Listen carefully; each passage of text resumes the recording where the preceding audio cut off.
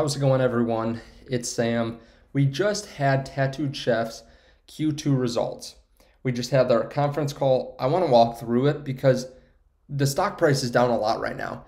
They missed expectations. A lot of people are saying that they're selling their position right now.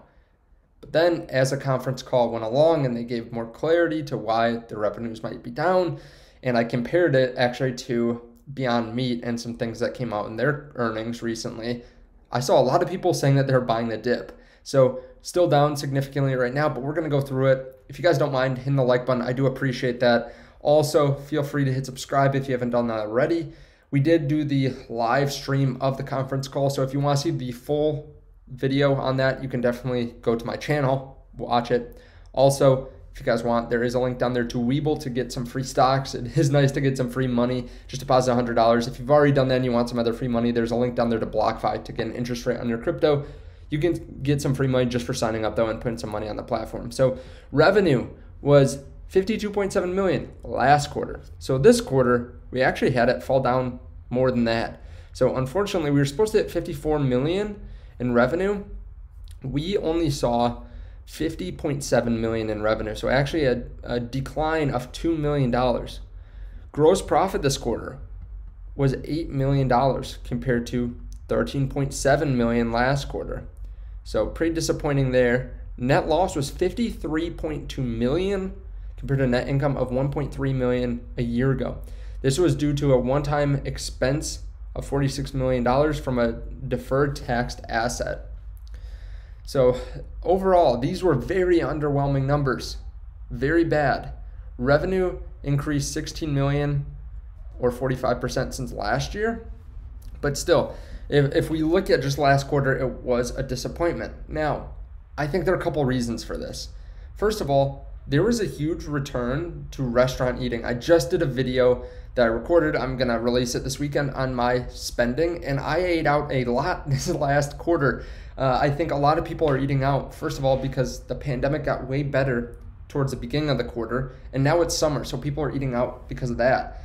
Now, if we take a look at Beyond Meat's earnings, they actually had their food service sales, so the, the sales from restaurants actually go up 3x from Q1 to Q2, and they blew out earnings. They had 32% more revenue from Q1 to Q2. They had $150 million but they gave really low guidance for Q2 of 120 to 140 million instead of the 150 million they just had. So they actually declined or they are actually giving lower guidance moving forward because they're worried about the pandemic and people eating out. They're also worried about supply chain issues. So you can either go with something like Beyond, which you can get at restaurants a lot, or you can go with something like Tattooed Chef, where you're really eating it at home. There's there's pros and cons to each, but that's just one reason that hey maybe this was a down quarter. Also, we did have some issues with high shipping costs. So, whether it's freight, cold storage, packaging, all these were very expensive. And that was from the earnings call. We have some other things to hit on in the earnings call, but we'll we'll move on down here. Cash position of 140 million. They still gave the same guidance of 235 to 242 million, which is an increase of about 60% since 2020.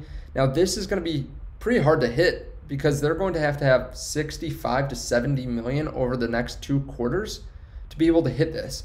This company does not expect the Carson facility to have a material impact on 2021 revenue because of the timing of the equipment being installed during the fourth quarter. Now, in their prior earnings, they did not phrase it exactly like this. They said that they expected to give updated guidance on that facility in the coming months. Now they're saying, hey, it's not going to be until the end of the year, really, that we're going to be able to include that. Now, I, I think we can look at this a couple different ways. Yes, it was a disappointing earnings, right? This is supposed to be a growth stock, but it's also supposed to be a food stock, and it is kind of seasonal. They said that really they think that this will consistently grow over the coming months or over, over the coming quarters. They think it's going to show consistent growth instead of this last quarter where we actually fell down a little bit. They said lower revenue was actually due to the timing of certain products and specials through some of their distributors. So I kind of understand that if they had a big push with some, let's say, some retailer like Costco right at the end of Q1, and then they said, hey, we're not doing that for a couple more months, and then we'll do it again. We don't want to have a special every single month. So I can kind of understand that might lead to a little bit of a decline, but still, still a decline. They also mentioned a subscription that might be coming where people that really like their products can actually subscribe to it. I don't know exactly what that would look like yet, but that is something interesting to think about. So, they actually gave guidance on 2022. So, they said in Q4 numbers, they will give full year guidance, but they said right now they expect about 300 million for 2022. So this year they're expecting 60% revenue growth. Next year they're expecting about 25% revenue growth, it sounds like. They also mentioned that they will be in 12,000 different stores by the end of Q3. They're at 8,400 now. Pretty exciting news uh, for the fact that that is a large increase. Their goal was 10,000 by the end of the year. Now they're saying we're going to be at 12,000 by the end of Q3. Now, overall, the price of the stock went down pretty significantly. It's down about 9.12, 9.16% after hours today. Now, again, a lot of people said that they were selling. You can tell because it fell down 9%. A lot of people are saying, hey, this could fall a lot further because this is a growth stock that's not growing. It's actually negative. Sure, that that is something that could happen, right? Anything can happen. Price could fall down. I was a buyer today. When it fell down 9%, 9.5%, I picked up some shares. I added about 4 to 5% of my overall position. I added more. Uh, I bought some more shares. So it is actually my largest holding right now. Now, would I like to see a great quarter? Yeah, I would have loved that, right? I, I was expecting 55 to 60 million. We didn't see that. But the reasoning for that kind of makes sense, right? A lot of people are moving out, uh, eating out again. But as the pandemic rages on, as maybe we have more shutdowns or as the winter comes, I would expect larger revenue. Now, if we don't see that, that could definitely hurt. That could definitely hurt the stock price. But I'm looking at this as a multi-year play. This is not something that I'm trying to swing trade. This is not a stock to swing trade. Uh, the whole the whole sector is growing, but it's growing year over year. It's not growing necessarily quarter over quarter in every specific different part of the sector, right? Of plant-based foods.